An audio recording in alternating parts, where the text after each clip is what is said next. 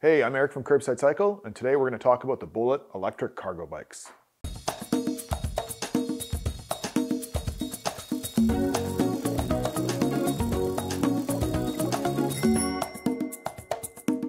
So Larry vs. Harry is a company out of Copenhagen, Denmark. And Copenhagen, Denmark is the home of the Long John cargo bike, which is what you're looking at here. So Long John cargo bike was originally a bike meant for freight transport. It was a two-wheeled bike that was all about monetizing speed and distance. So it had to be really fast in corners, it had to be really light for uphills, and it had to be really, really durable because these were being ridden by bike messengers who are notoriously very hard on their bicycles. So if you go to Denmark, you'll notice that most cargo bikes are actually three wheels. So the Larry versus Harry project was all about resurrecting the two-wheeled Long John cargo bike. So what makes the Larry versus Harry so special is that it's one of the only cargo bikes in the market that really takes things seriously from a performance angle. And there's a reason why it's legendary among the bike messenger community. This is a bike that's almost half the weight of most of its competitors, is very, very stiff feeling when you go around corners, incredibly well positioned for speed, cornering, and acceleration. But in no way does that mean that the Larry versus Harry cargo bike is meant strictly for freight operations. This is a bike that's really, really great to put your kids in as well.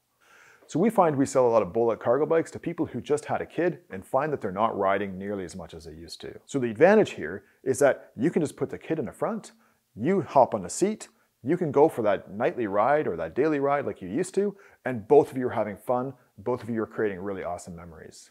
And of course, the Larry vs. Harry Bullitt is still in essence a freight cargo bike, which is why it's used by DHL across Europe and here in North America by FedEx. So if you're looking for a cargo bike, you're gonna find that the Larry vs. Harry Bullitt is very different from other two-wheeled options. Most options on the market have a really long wheelbase and really, really slack upright geometry so that you're positioned high above traffic. The Bullitt, on the other hand, is shorter in terms of its wheelbase, so there's less bike going into corners.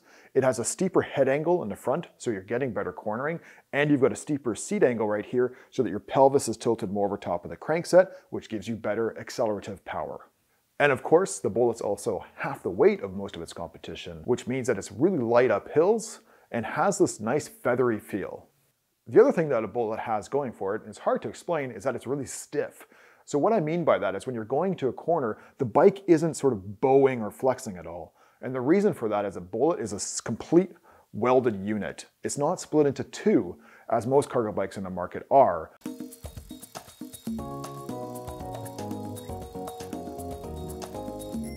So there's many ways to configure a Bullitt cargo bike, and we here at Curbside have made a couple choices on how we configure the ones that we sell. So what we've done is we've created a two-prong approach to how we build the Bullitt cargo bike. Number one, we build it as a really low maintenance platform for the all-season cyclist, especially in the Northeast. So the second way we build it is as a super high performance cargo bike. So it's got a big motor, even bigger battery, and a wide, wide range of gears.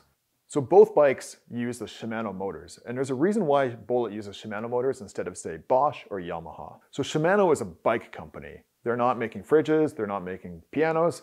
They are a true blue bike company. So the Shimano motor really feels like it's reading your mind. There's a real sort of bike body correlation.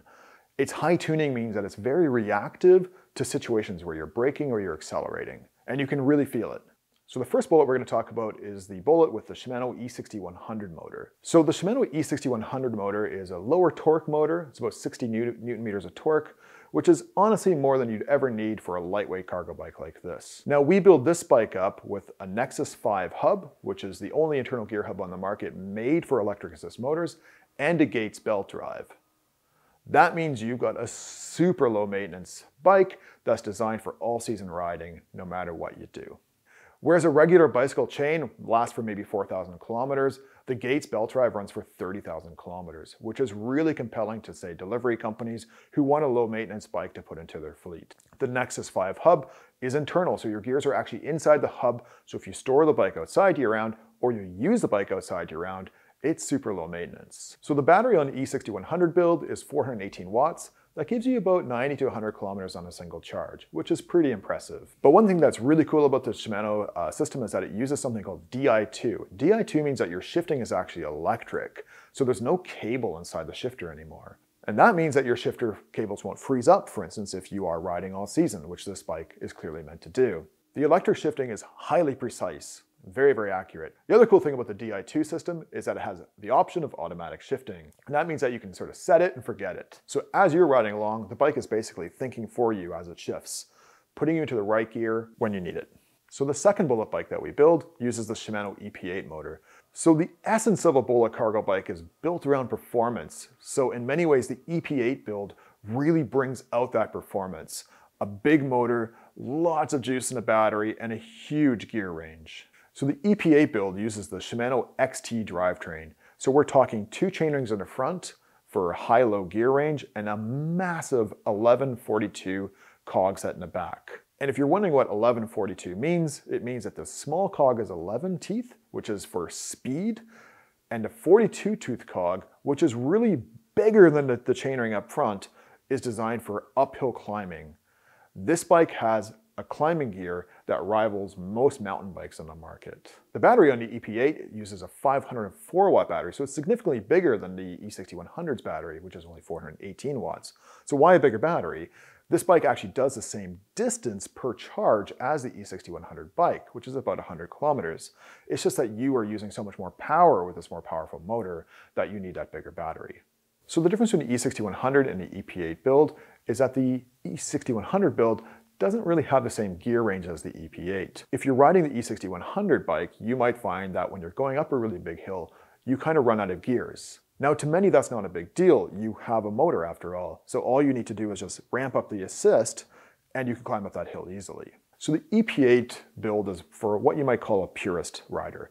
They want to always have a gear to get up that hill no matter what, whether they're using the motor or not. So that's why this bike has such a massive gear range. And if you're using the motor, you have crazy power, much more than the E6100. So you kind of get the best of all worlds.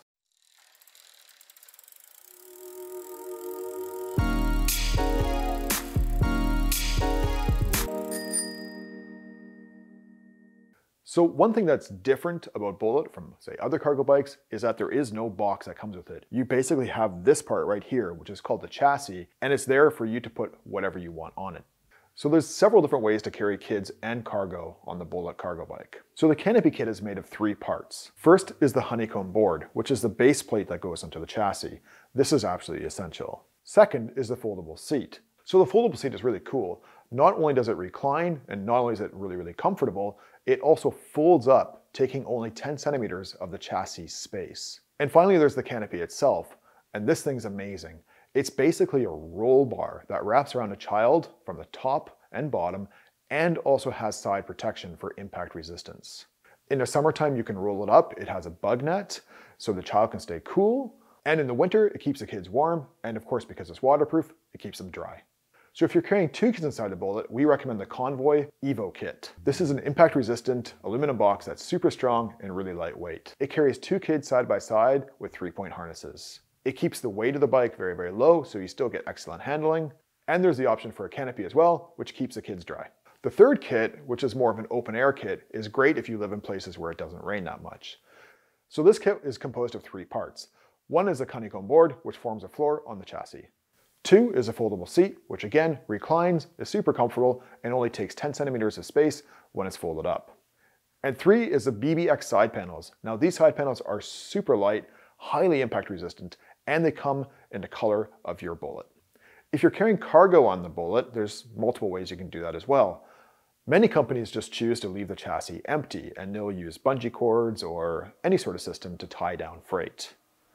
Another way to carry freight is the cargo kit. Now this is composed of two pieces. One is the honeycomb board, which forms a floor on the base of the Bullitt chassis. Two is the BBX side panel kit, which forms a box around the chassis and features a waterproof cover. If you're a business and you're carrying freight for commercial use, we also carry the full line of Convoy products. They can be custom ordered, and if you're interested, please contact us for details. Now the Bullitt uses a really clever geometry that fits most people. If you're really, really tall, you can ride the seat post right about here, and if you're shorter, the seat post is gonna go all the way down to about there. Now, one of my favorite things about the Bullitt cargo bike is that it has this Satori adjustable stem. You simply open up this quick release and the stem will go all the way up to here, offering a much higher and more upright riding position. So one of the reasons why the Bullitt is so light is that it's made out of aluminum. So most cargo bikes in the market are about 120 pounds up to 150 pounds. The Bullitt is a mere 70 pounds with an electric assist. You simply couldn't do what I'm doing right now with most cargo bikes in the market. This bike is super light. The other great advantage of aluminum is that if you are storing the bike outside year round, it's completely rust proof. For a bike that goes as fast as a Bullitt, you need really good brakes. So all the Bullitt bikes come with hydraulic disc brakes. Now these aren't just any hydraulic disc brake, they are four piston hydraulic disc brakes, which basically means you get double the power of a conventional disc brake. Now what do I mean by hydraulic? Hydraulic means that there's no cable inside of the housing right here. There's hydraulic fluid.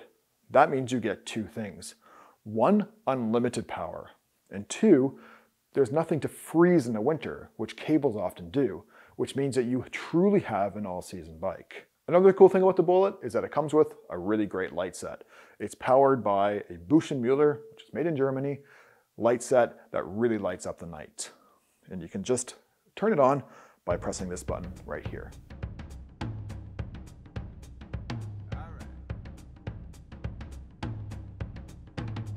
Thanks for watching. Check out the links below for more information on the e-Bullitt cargo bikes. If you want a more in-depth analysis of Bullitt, you can read our Why Bullitt blog, which really dives into the company history. If you have any other further questions on Bullitt, you're welcome to drop by our store on Bloor Street or book an online sales appointment. And if you want to stay in the cycle, you can subscribe below to our YouTube channel.